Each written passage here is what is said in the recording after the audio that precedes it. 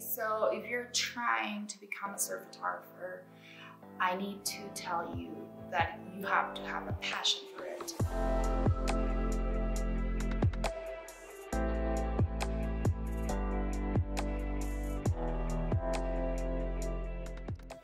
Hi everyone and welcome to the Wedio Academy. My name is Maria Fernanda and I will be talking today about surf photography and I'm gonna share a little bit about my story and how I end up doing what I do.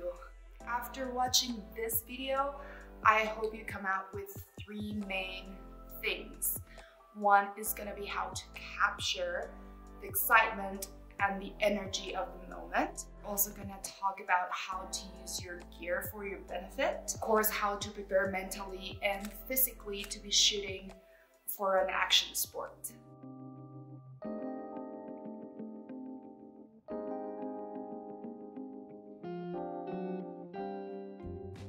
Surf photography is the art of documenting surfing either from land or water. It's trying to capture that raw energy, that speed, that um, excitement, that emotion, and all the elements in it in a single moment, in a single image. And there are so many differences between other types of photography and surf photography.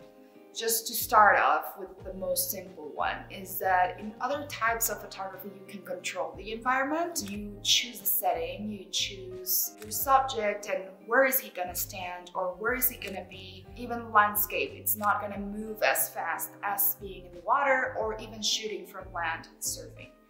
When you shoot water photography or surfing photography, everything is moving and you cannot really control it the water is moving, so if you're in the water shooting, you're gonna be moving too. So you have your own movement, and then your subject, in this case the surfer, um, are gonna be moving. Like the surfer is gonna be moving towards you with a very high speed, while the wave that he's in is gonna be moving also at its own pace. All of this while you trying to get a good position to shoot both of this and trying to also control the lighting, right? Because the lighting, it's, you know, gonna be shifting also depending on the wave.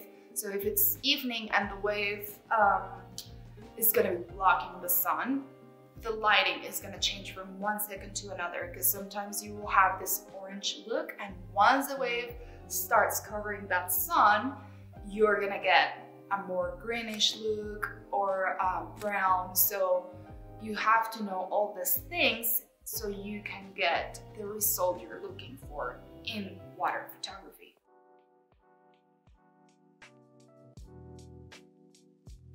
Okay, so if you're trying to become a surf photographer, I need to tell you that you have to have a passion for it. It's gonna be a lot of sacrificing, a lot of commitment, a lot of um, time that you're gonna put into this because it's not just about um, you know clicking a button. You have to like I said before know about the sport and train for it especially shooting from the water. You have to be well trained for it not just physically but also mentally. Why? Because you're also in the ocean with the athlete and you're gonna be swimming. So you're gonna have to be I don't know a couple hours in the water using all your energy and your body to be there. So you have to be in top shape, you have to be fit, you have to be ready to be swimming for hours on end, maybe cold water, hot water or warm water, but you um, have to learn to know your body. You know, you, you have to be hydrated, not get cramps in the water because that can be very dangerous too. And um, and like I said, it's not just physically, but you have also to prepare mentally. And so I've taken a lot of apnea courses and breathing exercises because that is so important for your physical strength and your physical preparation, but also for your mental preparation. That gives you a lot of peace of knowing what you're doing and also being trained physically gives you peace mentally, right? Because you know that you're ready for any situation and you can handle any situation that comes your way. So it is very important to be trained for that. And for that, I usually swim because that's what you're going to be doing. Um, I use a lot of my legs. I try to train with fins. When I'm not in the ocean, I would train in the water, like in a pool, river, lake, and I do it with my fins. Um, I run too, and I try to do other um, sports where they require a lot of, you know, um, using your lungs and expanding them. And so, yeah, a lot of aerobic activities where you can just get your body ready for being in the water a couple hours at a time.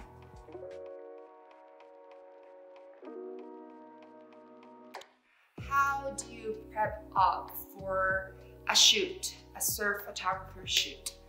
Um, you would have to do it in advance and not just because you have to set a date and everything, but it's because it depends what day you're gonna set on how the waves are gonna be acting.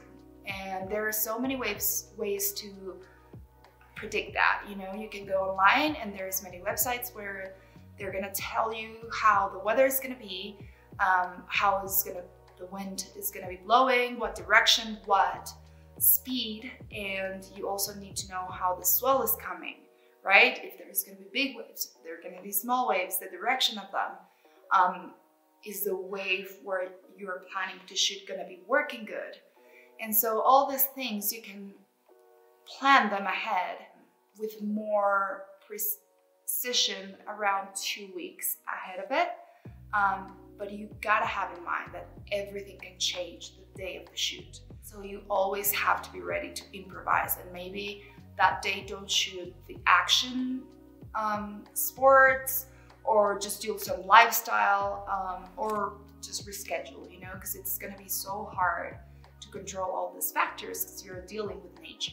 Besides that, the whole planning ahead and two, day, two weeks in advance and everything, you've also got, you know, prepare your gear because you're not talking about just of your camera.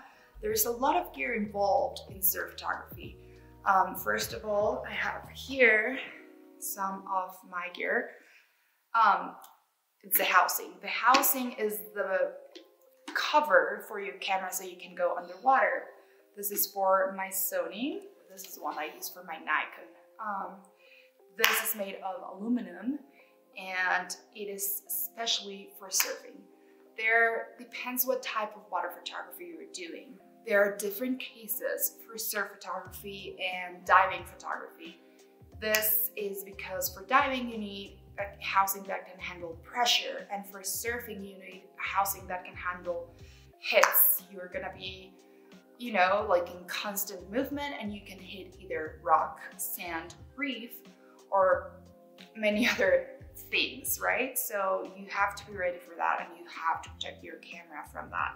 And so that's why we use this housing. Um, I love shooting, especially surfing with the trigger. We call this a trigger. Let me show you the other trigger. So it's almost, we call it a pistol grip. And you shoot and that's when you take the photo and it's so much easier to have this shooting surfing because um, when everything's moving and you are on surface level of the ocean with this it allows you to lift your hand a little bit above your head and have a different perspective and shoot from above. So that's why I usually use the trigger. Um, I also love having the handle because this one you can hold it when you're going through the waves. After you took, took your shot, you want to dive under the wave so you don't get sucked over the falls. And that's where I use my handle. This is the port and it is very important to keep an eye on it all the time. The port is what protects the lens and if you have a tiny drop of water, it can affect your entire shoot. So you can be in the perfect position, right? And the surfer is taking an amazing wave. The wave is beautiful. You have the perfect lighting and everything, and you think you shoot the perfect image. But once you go into your computer and starting developing the photos and editing, you realize you have a little tiny drop of water in the middle of the lens. The whole image is gonna come out bad. it's gonna be all blurry, it's gonna be out of focus, and that's one of the things that you always have to keep an eye on, having your port clean. And there's different types of um, doing that. There's people that shoot with dry port and there's people that shoot with wet port. Um, I usually shoot with dry port since my port is flat. When you have the dome, that's when people usually shoot with uh, wet port. And there are different things to keep it working properly. Um, when you have dry port, you usually use some wax oil to have it clean without any drop of water. And even if a, a wave splashes on you, the drops will, you know, fall off and leave your port free of any imperfection. So little trick, I put some surf wax on the side. And so when I'm in the water, every, I don't know, three, five minutes, I put some on my finger and I rub it on my port. There's people that use candle wax, there's people that use sunblock, there's many tricks, but for me, this one has worked and that's the one that I use so far.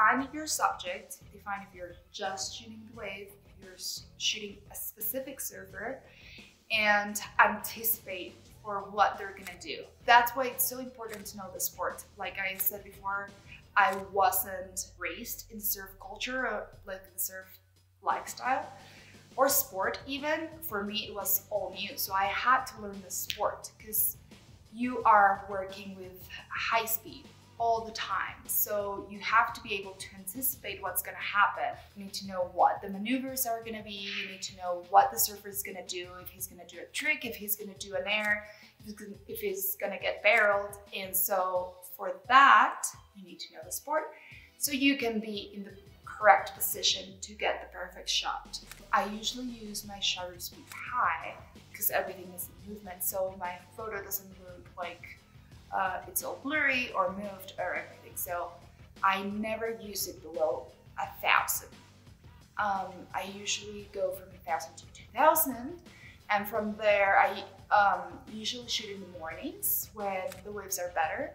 And so most cases you have really sunny mornings, uh, beautiful morning with light and everything. So I my settings would be around I don't know, let's say 2000 for speed, for shutter speed, and then I would do maybe 200 ISO. And what I would shift and what I usually move is just my focus, right? So what I usually um, just change or adapt in moment would be my F settings, right? Um, and it depends if I want to be just getting the surfer focused or if I want to have the whole wave and the whole scenery also in there. Um, but because I'm working with high moving objects, um, I usually don't lower it from like a six. Um, just to make sure everything is in focus and it's not just his face or it's not just his feet, you know, but the whole subject is in focus and usually I like the wave to be in it too. The, you know, the background um, doesn't need to be there sometimes, like as sharp or in focus or whatever. Um, but it depends what you're going for. And if you're in a place where it's super important that it's seen that's that special town or that special, um, I don't know, cliff or mountains in the back.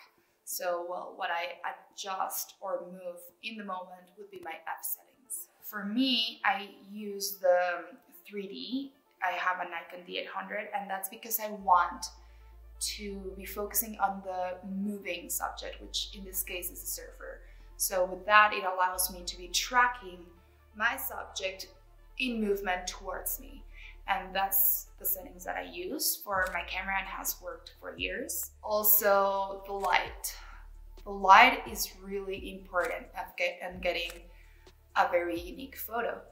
um, especially in surf photography. You know, like I was saying earlier, um, depends on the movement of the sun, the waves, and everything is gonna be the light that you're gonna have. So if you're shooting in the morning, you're usually gonna have bright um, water, blue usually, and you're gonna see a little bit more through the ocean. Um, if you're shooting in the evening, you're probably not gonna be able to see through the ocean. It's gonna probably a more greenish look and you're gonna have to uh, know where the sun is setting and how fast, like what time is sundown, so you can prepare for that, you know? Because once it's getting super dark, um, it is hard to get some good photos, especially because you're uh, working with high speed, well, high shutter speed. So, um, yeah, if you wanna have a good session, you have to know what time the sun comes up, what time the sun comes down, and prepare accordingly.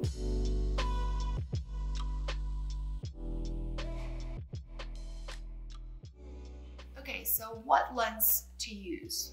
It all depends on the type of photography you're trying to work on. Sometimes you wanna uh, portray the place that you're shooting. You wanna get all the scenery in there, you know, like if you have a beautiful town in the back and you want the wave uh, to be in a corner, but you want the city or the town to be in the photo too, then you're not gonna need a long lens, of course, right? Because you wanna have everything in there. If you just wanna shoot the surfer and like focus more on his movements and on his body posture, um, then you're of course gonna need more of a wide angle. Um, for me in particular, wide angles are great, but they distortion the wave, the size of the wave. Um, so I don't usually use that often. Um, I actually don't have any fisheye lenses, but there's um, many really great photographers that love using fisheye, and especially when you're shooting barrels and like the surfer is inside of the wave, then you can see the whole and you can feel you're in the barrel with the surfer. You can feel the wave covering you. Um, for me, my style, I do more of a natural look and I love to keep my images real. I want to portray to the viewer what I'm experiencing in the moment and make him feel like he's in there with me. So um, I try to use more of a 50 lens, you know, because that gives you uh, that feeling of just looking there. Like if you're watching a photo with a 50 lens, you feel like you're in the moment. You see everything that the photographer is seeing. And so that's one of my favorite lenses for surf photography because you get the whole wave, you get um, the size of the wave, and you usually get something also of the scenery in the back. So that's what I use. But I have my 24 to 85 lens, which is very versatile for me. I usually use that one. Um, but sometimes I like using my long lens in the water too. I gotta say it's heavier and it's really hard to swim with that. Um, but the photos look amazing. It's a 70 to 200, so you can imagine if this is a 24 to 85, how big the other lens is and how heavy. So swimming with that is definitely a challenge and you have to be more careful with it because I mean, in the water, this can even be, you know, like a danger to yourself because it can hit you, it can knock you out, or um, yeah, not be as great. So you gotta be um, very careful when you swim out with a longer lens or a heavier gear. But the wave, uh, the wave and how it looks with that lens, it is amazing because you can be a little bit farther and you still feel like you're close to the surfer and to the wave. So I use that for bigger waves where I don't want to be as close to the subject and I want to see it on the channel or the wave is really fast. So that way it gives me and allows me to be a little bit farther and still feel like I am there in the action.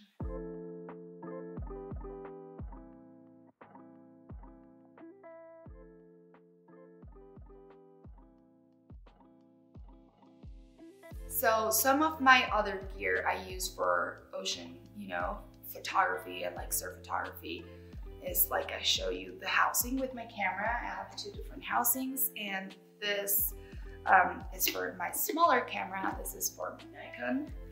And you always have to use fins because you're gonna be floating not just yourself, but you're gonna be carrying your gear, which is very heavy. So you wanna be able to swim and move fast and not sink. You wanna be able to escape from the waves. So fins are always a must when you're swimming with your gear out in the water. Um, and depends, I like big waves and that's my specialty.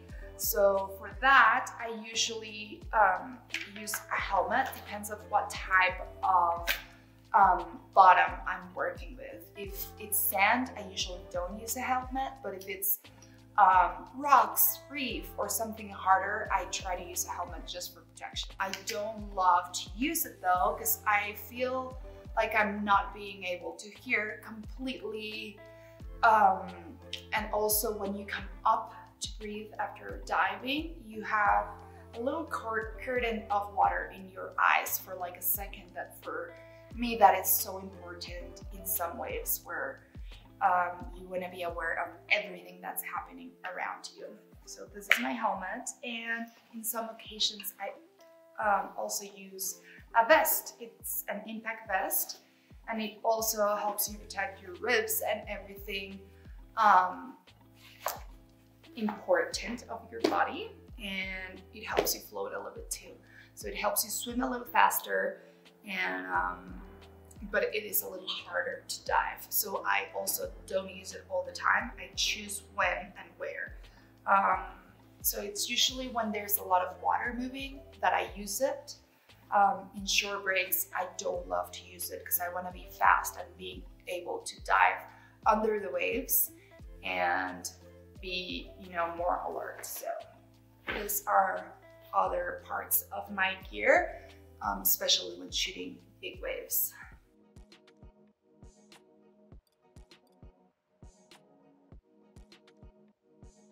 Okay, so, well, some tips when you go underwater with your housing, I usually hold it next to my leg, hold it from the handle, put it next to my leg, and I try to dive with one of my arms, well, of course the one that's not holding the camera, um, in front of your face so you protect your face and it can be either from the ground or the bottom of the ocean or from other surfers or, or surfboards. So when you come up to breathe, even though I open my eyes underwater, you don't see as clear. So I always like to put a hand in front of me just to know and to protect my face from anything and my head from anything that can bump into. Uh, and my camera goes next to my leg really tight so I don't hit myself with it when I'm going through the waves. When I'm shooting, um, I'm pointing to the subject. I try to look through it, especially when I'm shooting like from 50 up because of course you're, you know, a little single tiny movement that you are gonna get when you are in the water um, can get your subject out of the position that you want it to. So this is how I shoot. I hold one hand and then the other I try to move my camera and give it some direction. Um, when you're shooting fisheye, you know, or wider angle, you can definitely just hold your camera and shoot towards the subject and you're probably just gonna get your subject in there.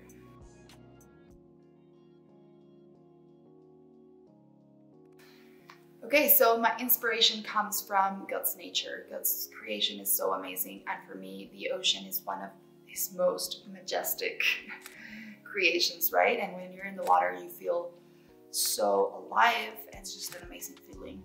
And that's something that water photography has given me that and being able to connect with so many people around the world and um, visiting all these amazing places. Um, so yeah, if, if you wanna keep doing this, I my only advice for you is to really wanna pursue it, to have a dream and a passion for it, because that's what, what's gonna keep you going and pushing and trying to get better photos.